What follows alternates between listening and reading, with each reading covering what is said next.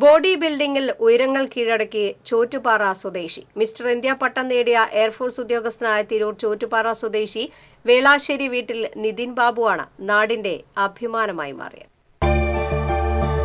Indian എയർഫോഴ്സിൽ junior warrant ഓഫീസറായ നിതിൻ മഹാരാഷ്ട്രയിലെ ഷീർധിയിൽ Indian body building and fitness federation സംഘടിപ്പിച്ച അറുപത്തിനാലാമത് സീനിയർ നാഷണൽ ചാമ്പ്യൻഷിപ്പിലാണ് മിന്നുന്ന നേട്ടം കരസ്ഥമാക്കിയത്.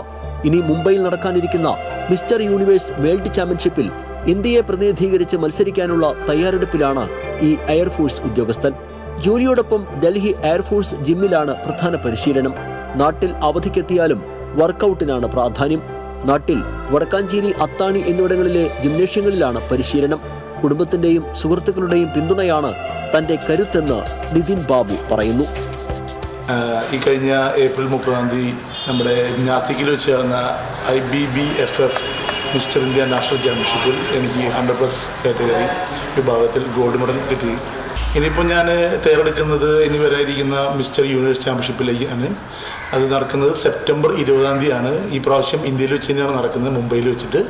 അപ്പോൾ അതിന് വേണ്ടിയിട്ടുള്ള തയ്യാറെടുപ്പാണ് ഇപ്പോൾ നടക്കുന്നത്. ഇപ്പോൾ ഓൾറെഡി തുടങ്ങിക്കഴിഞ്ഞു. വളരെ നിസ്സാര സമയമുള്ളൂ. മൂന്ന് മൂന്നര മാസമുള്ളൂ അപ്പോൾ അതിന്റെ ഫുള്ള് പ്രിപ്പറേഷൻ കാര്യങ്ങളായിട്ടാണ് ഇപ്പോൾ നടക്കുന്നത്. T C D Vadakkanchery